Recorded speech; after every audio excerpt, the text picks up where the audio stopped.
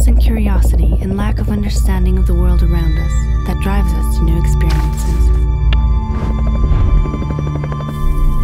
Once we have discovered the feelings that are really special, the ones we enjoy and cherish, we keep searching out ways to recreate these feelings.